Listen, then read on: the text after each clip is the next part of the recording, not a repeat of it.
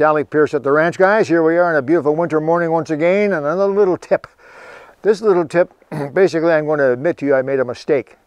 I didn't really make a mistake, but I could have done it better. And I'm going to share with you that could have made it better.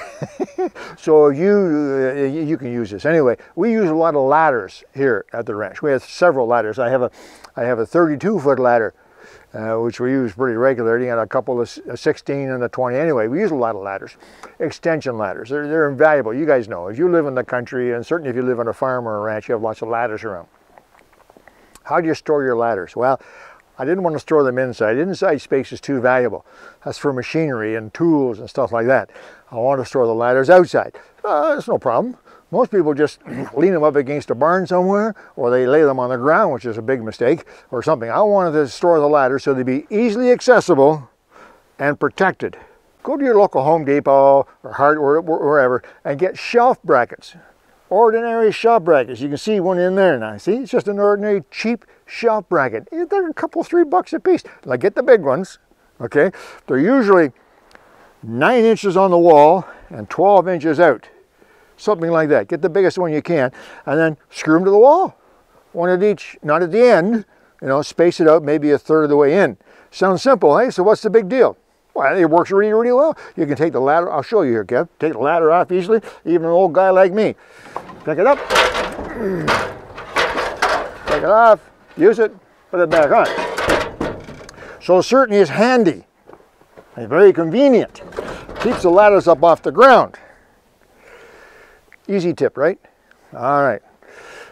But as I say, I made a mistake. When you do this, if you do this, when you do this, don't make the mistake I did. I'm a very straight line, dotted T's, dotted T's and crossed I's, right? No. anyway, I, I like things just right. My poor wife, I love her. But anyway, she, I don't know how she puts up with me, but everything has to be just right for me. so when I put two brackets on the wall, I measure and make sure they're level, right? Anybody would do that. Anybody with brains would do that. Don't do that.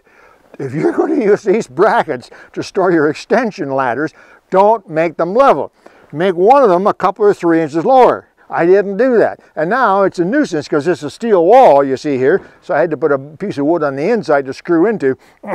it's a nuisance to change them. Now I can do it, but it's a nuisance. So what I had to do, you see right here, this piece of 2x4 on its side. I had to put that piece of 2x4 on the top of one of the brackets so that it raised a little bit. So the extension ladder's up at a bit of an angle. Yeah. Oh, why? well, after two years of sitting here, now it's obvious to me, these ladders, these extension ladders, they're actually U-shaped brackets, they get filled with water, summer and winter.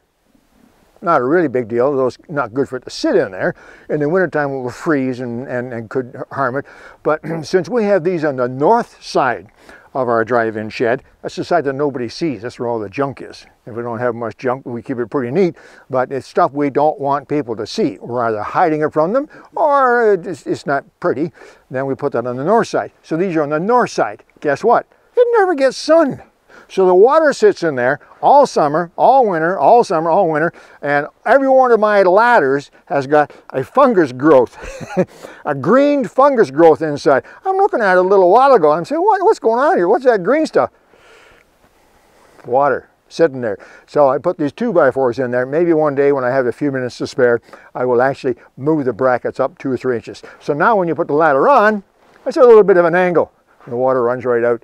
No problem. Bit of wind and it dries right up. I know it's kind of a silly little thing, but if you're going to hang your ladders up, and if these brackets seem like a good idea, good. Just don't make them level, or you'll have the same problem. Anyway, small tip.